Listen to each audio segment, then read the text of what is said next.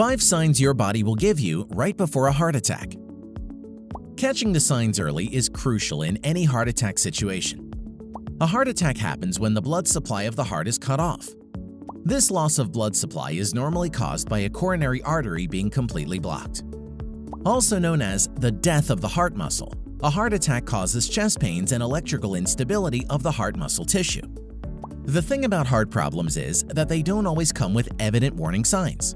Sometimes the symptoms don't directly occur in your chest, which is why some people cannot right away tell what's going on. Some heart attacks can also be sudden and intense.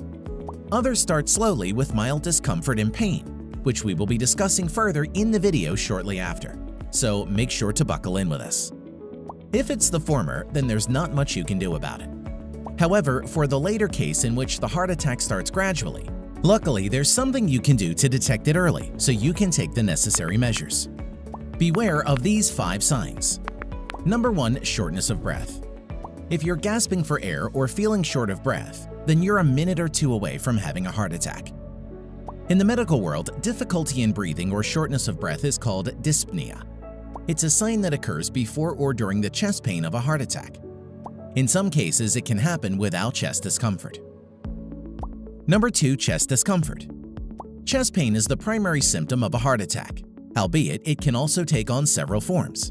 Chest pain can be characterized by a sense of fullness, pressure, squeezing, or pain that starts in the middle of the chest. Typically, the discomfort or pain lasts for a couple of minutes.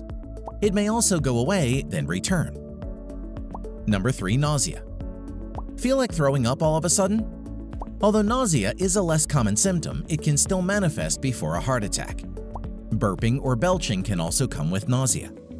For some people, the experience can be described as similar to getting indigestion accompanied by a heart attack. Other severe cases can cause the patient to vomit after feeling nauseous.